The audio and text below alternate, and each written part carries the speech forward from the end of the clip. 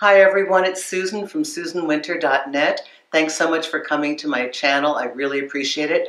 And my subscribers, oh, many thanks to you. Really love it. Thank you so much for your support and all your kind words. I'm continuing with your video request today, and this has to do with when we go through a bad breakup and we start to think, am I ever going to find somebody again? Because I lost this one. This is from Eva. Hi, Eva. And Eva writes, Hello, I'm Eva from Taiwan. I had my first really serious breakup lately, and that's why I started to watch your videos.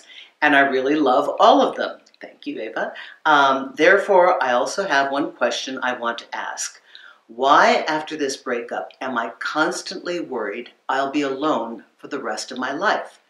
Or feelings that I'll never find someone again? How can I help myself to stop these thoughts? Thank you.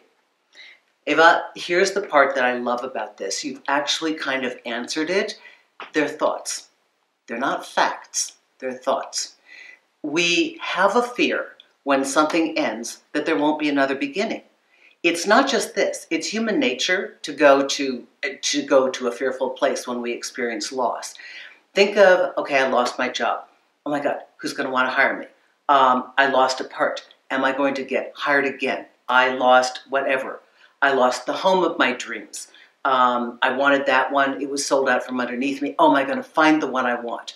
Am I ever going to get it again? Because we set our sights on something, and when it gets taken away from us, we have a normal sense of fear and reactivity.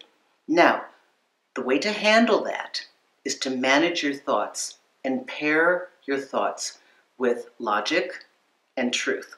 Okay? In the case of a love that's lost, you fear actually that you won't feel that way again. It's not that you won't meet people, you will. You fear that you're not going to be able to get back to that place of loving, of desiring and wanting somebody as much. And you also probably worry that you're not going to find somebody who is like this person was for you. Because what actually happened is you put this person on a pedestal. You see, people have dark and light. We're complete, whole. We have our positive and our negative. And when we lose something, whether it's we lost a job or we lost an account that we wanted or we lost the house that got bought out from underneath us or we've lost a partner, we go back and review that in the highest light. Oh, it was the best. It was exactly what I wanted. And we start to add this drama to our imagination of what it was. And in truth, all it was was something that we wanted that we liked better than anything we'd seen so far or anything we'd seen in a while. And we erroneously assumed that having it taken away from us means that there will be no more. But that's not the way life works. It really doesn't. So the impulse of life is to always increase, advance, evolve, continue the life force itself.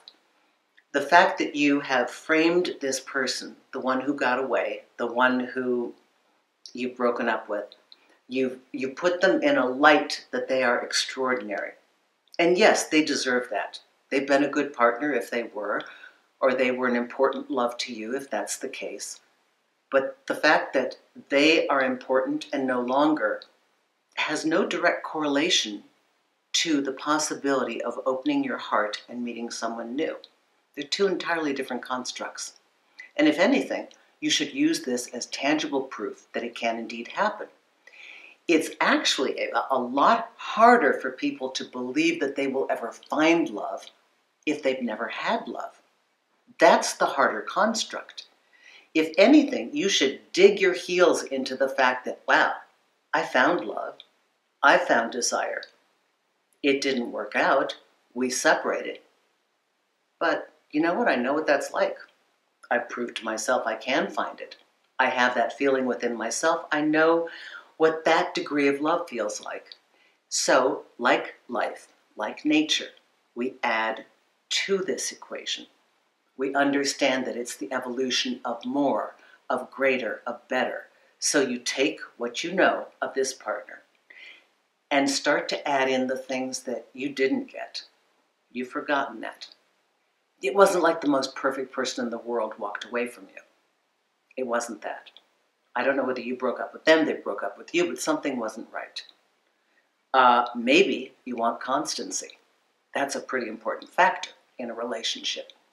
So maybe you need to review what you think left you, keep the qualities you like, add to the qualities you did not get, redo your formula, and enter the world with fresh eyes again. Understanding that once you have attained something, I say this over and over again, but this is this is a false construct that people believe that when they have something and it's gone, they're not going to get it back again. I'd ask you to look at the entire construct differently. When you can manifest from a thought, I want love, into the physical world. I have a partner. I love them. Oh, okay, we broke up. It doesn't mean you go back to zero or negative.